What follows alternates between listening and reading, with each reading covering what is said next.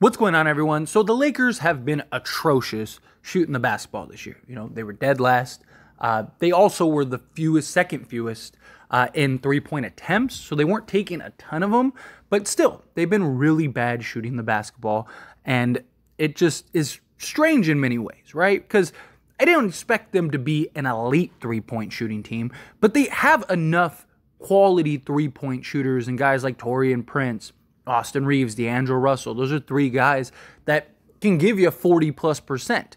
Um, I thought the Lakers would at least be middle of the pack. And I mean, it's still early. They very well could. I figured the Lakers would be somewhere in like maybe the 15 to depending on how well LeBron shot the basketball, maybe like 12 to 10 range, right? Because my concern is LeBron, if he's just chucking up seven threes a game, um, if he's shooting 20%, right, and he's as bad as he was last year, then that's just going to tank the Lakers' three point percentage. But so far, LeBron has been good, not great. Or, I mean, for his standards, he's never going to be a great elite three point shooter. Um, but even last night, he was three of four from three, been about 31%.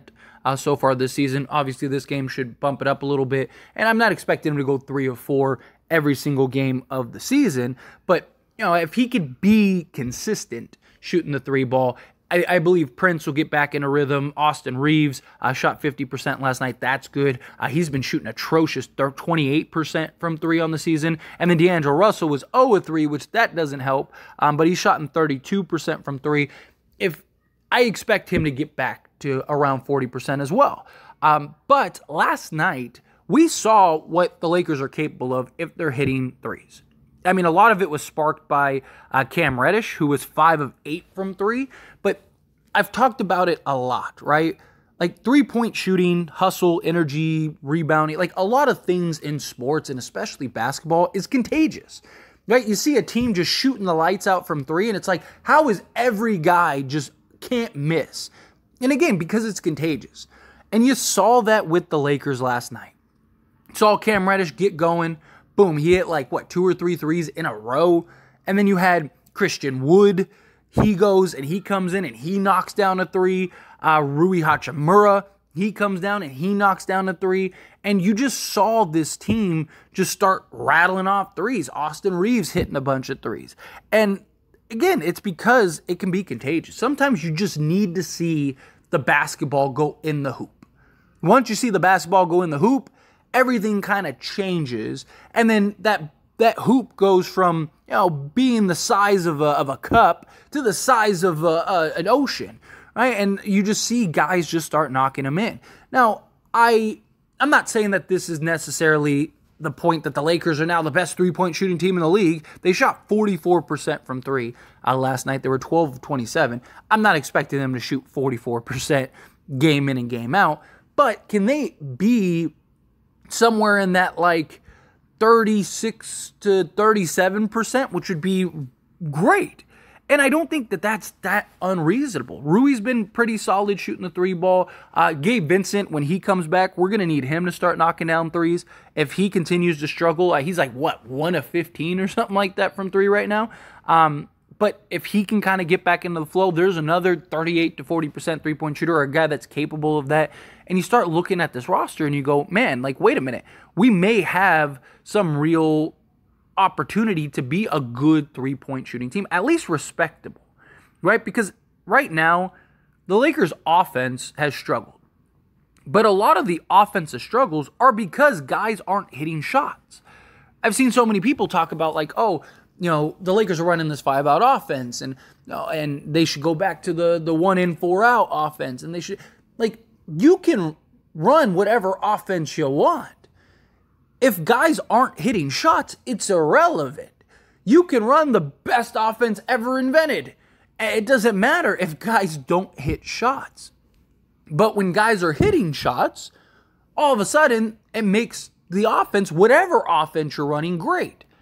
Right? Like the whole point is to spread the floor so like guys like LeBron can just get to the rim at will and not have to fight over five guys or the defenses collapse and then he can kind of kick out. You got all the shooters and all that stuff, right? And, and I don't mind them running you know, four wide with Anthony Davis in the middle or, you know, a Jaxson Hayes in the middle or whomever. Like, that's fine. But at the end of the day, guys still have to hit shots, right? Like, the, the whole point of the offense that we're running is for there to be all these different actions and, you know, kind of a more free flowing offense.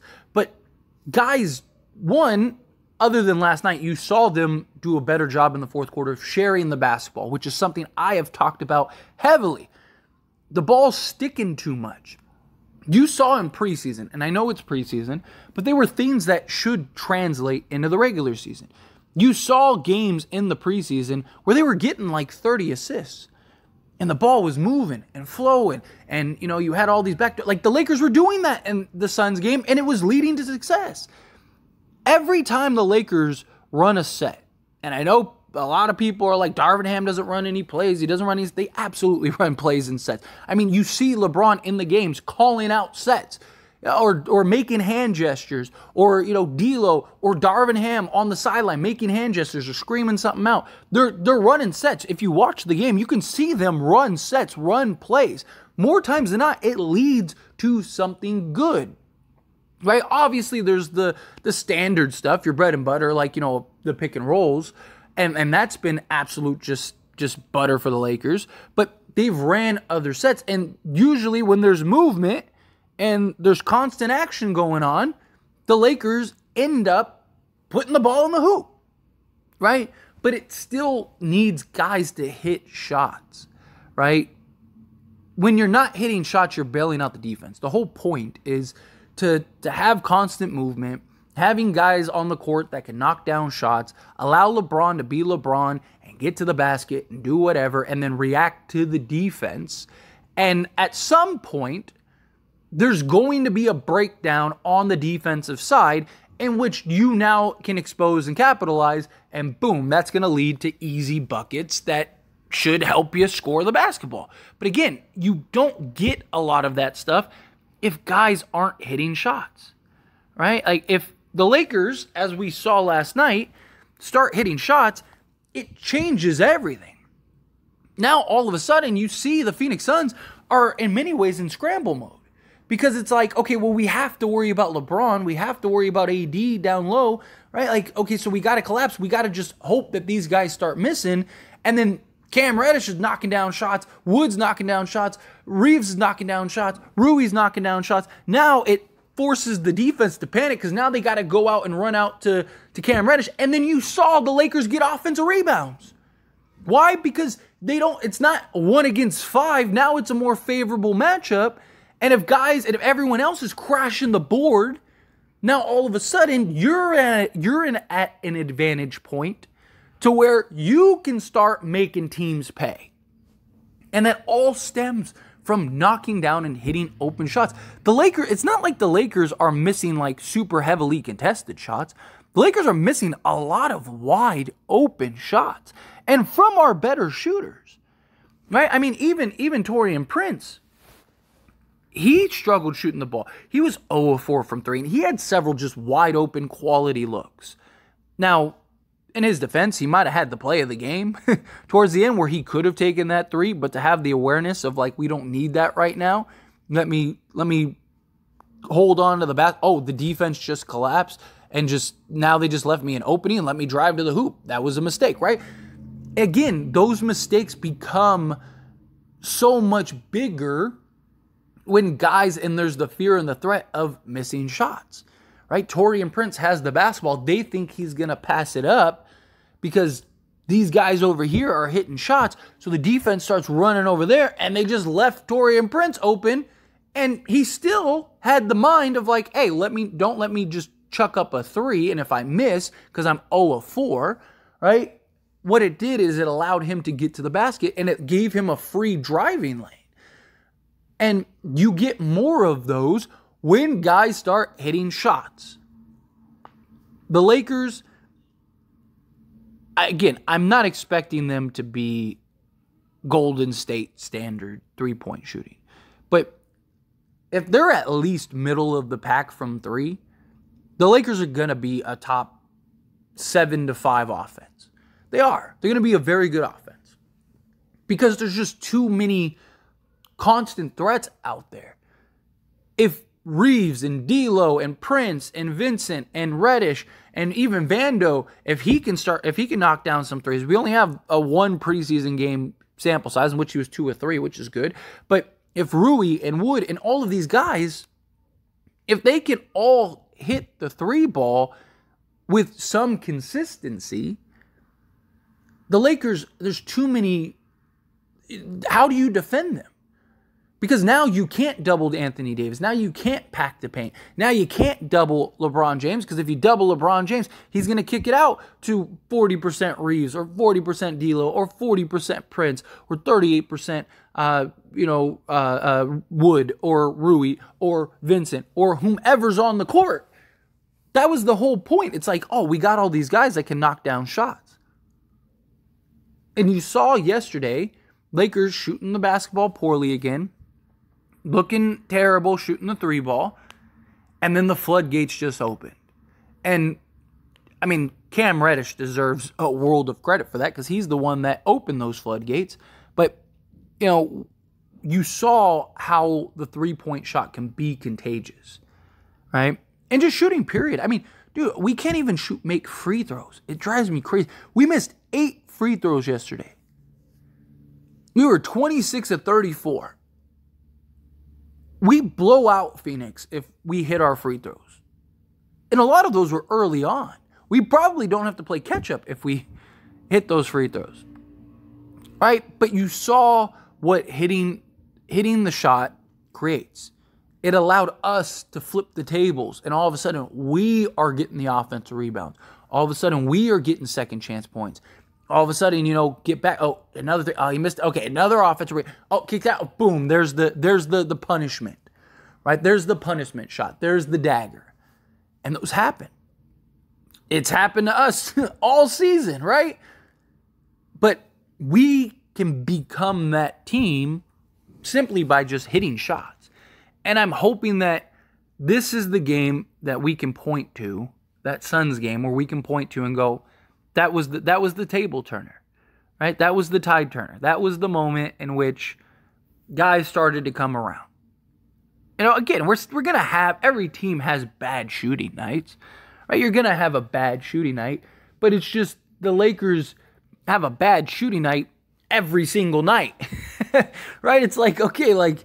Uh, come on, can we can we get string a couple good quality shooting nights together? That would be great, right? And luckily, now we're going, we're facing a stretch in which we may really be able to get into the flow offensively. So we got a three game homestand. Our next two games are against the Blazers and the Grizzlies. Both teams have been awful, can't defend. Lakers are going to get a lot of a lot of wide open shots. Got to knock them down. You win those two games, all of a sudden you're over 500. And then you take on the Sacramento Kings, which they're not very good defensively either. And again, after that, you got the Blazers, the Rockets, the Jazz. I mean, the Lakers could easily here go on, you know, a six-game winning streak. I know Rockets are cruising right now, and they're they've been playing good basketball, but the Lakers should beat the Rockets at home, right? So now you got six out of your next seven games at home. Got to win all of those games, at least the home games, right? I mean, the, the road game is against the Blazers, so you should beat them, but you're playing the Blazers twice in a four game span. So, I mean, any team in the league, it's hard to do that from, but I'd like to see that. We have a real moment to kind of pull away and, and create some separation and get over 500, right? We win. We win our next seven games all of a sudden, or even six out of our next seven all of a sudden we're five, six games over 500. And now we are one of the top in the standings. And then at that point, it's just weathering the storm from there, right? And that's what the Lakers need to do. So I'm hoping that that's the case. Right now, the Lakers are sitting at the eighth seed, um, right ahead of Phoenix because we have the tiebreakers, which is why these these games, two and zero oh against Phoenix, is important um, if it comes to those tiebreakers. But you know, if we win our next handful of games, all of a sudden we're going to really jump up. But anyway, as always, this is a discussion, so I pass the question on you. Let me know your thoughts and opinions down in the comments below. What do you think? Do you think that this could be a real turning point for the Lakers and uh, an opportunity for them to uh, kind of right the ship shooting the basketball?